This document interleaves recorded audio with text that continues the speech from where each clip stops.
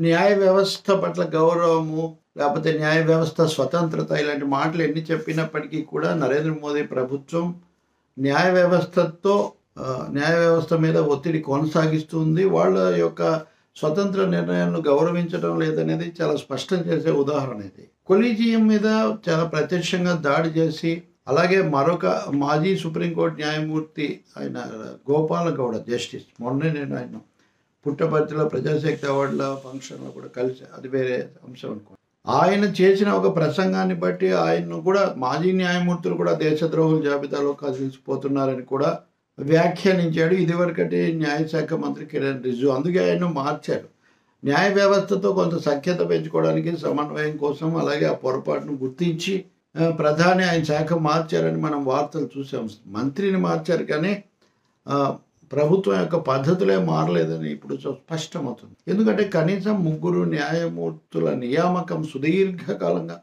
కేంద్రం తేల్చడం లేదు. మద్రాస్ హైకోర్టు న్యాయమూర్తిగా ఆర్ జాన్ సత్యం జ- అనే ఆయన్ను సిఫార్సు చేసింది. కొలీజియం. గతంలో ఎప్పుడో చేసింది. మళ్ళీ మళ్ళీ కూడా చేసింది. మొన్న మార్చిలో చేసిన ఇప్పటికి జూన్ దాటిపోతున్నా దగ్గరకు వస్తున్నా ముగింపు దాన్ని ఇంతవరకు తేల్చలేదు. ఆ తర్వాత మరొక ఆయన్ను జస్టిస్ సుదర్శన్ uh, వీళ్ళు ఒక్కొక్కరు ఒకరు ఒక హైకోర్టు జస్టిస్ సారీ జస్టిస్ కాదు.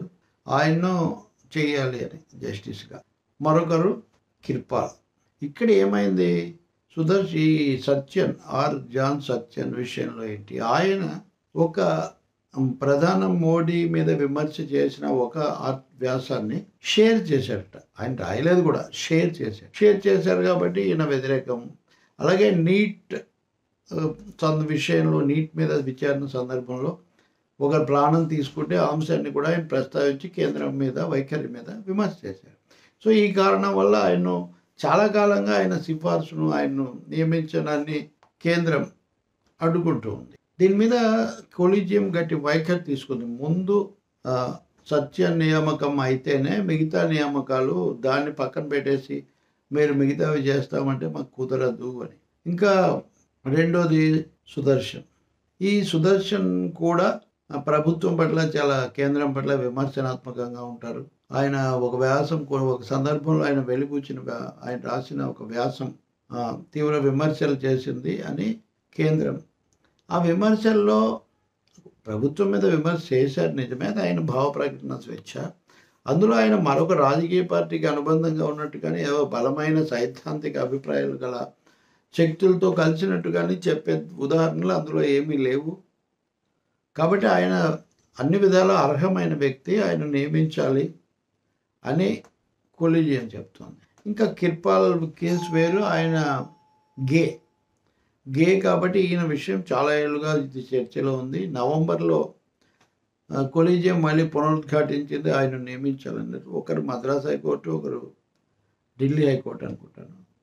ఇట్లా అనమాట ఈ సందర్భంలో ఇవి ఇంతకాలం పెండింగ్లో ఉండటం ఒకటైతే ఇప్పుడు జస్ట్ ఆయన ఆర్ జాన్ సత్యంను నియమిస్తే తప్ప ఇంకే నియామకాలు మేము ఒప్పుకోము. మీరు అనవసరంగా ఒకటి రెండు సార్లు మళ్ళీ పునః పరిశీలించమన్న తర్వాత కూడా మేము పరిశీలించి మళ్ళీ పంపితే మీరు తేల్చకుండా ఇలా నానబెట్టడం సరికాదు అని కొలీజియం గట్టిగా అభిప్రాయపడుతుంది. ఇప్పుడిప్పుడే కొలీజియంలో కూడా కొన్ని మార్పులు వస్తున్నాయి.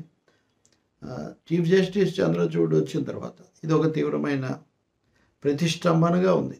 ఈ ప్రభుత్వానికి కేంద్రానికి కొలీజియంకు మధ్యలో ఈ విధంగా వ్యక్తులను నచ్చిన వాళ్ళను విమర్శించని వాళ్ళను మాత్రమే జడ్జీలుగా నియమించాలని కేంద్రం పట్టుపట్టడం సరికాదు. అలాగే భిన్నాభిప్రాయాలు ఉన్నంత మాత్రాన వాళ్ళ అర్హతలేమి మారి తొలగవు లేకపోతే మాసిపోవు అని కొలీజియము లేదా సుప్రీంకోర్టు వర్గాలు గట్టిగా భావిస్తున్నాయి. మరి ఎప్పుడన్నా ఏమైనా తేడా వస్తుందా? లేకపోతే ఏమైనా మార్చు కేంద్రం పునరాలోచిస్తుందా అన్నది మనం చూడాల్సి ఉంటుంది.